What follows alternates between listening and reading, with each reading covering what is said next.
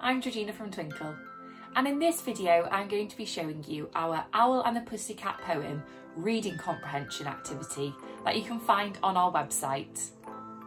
This activity is a brilliant way for your children to practice their reading skills and also answering questions based on the text that they've read. Let's go and take a look. This resource provides multiple opportunities for your children to practice their amazing comprehension skills.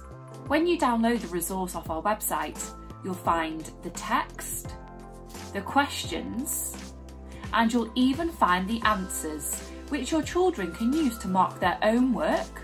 You could use them for peer marking or just to make your life a little bit easier.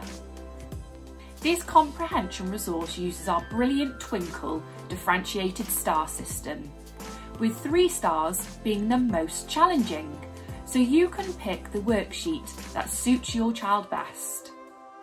Each comprehension question will have your children practicing different skills, such as retrieval of information.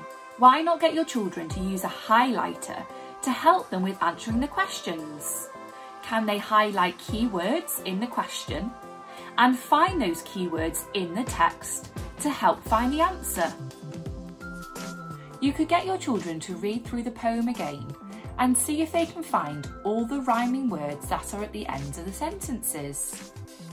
They could write the words out or simply highlight them or underline them with a coloured pencil.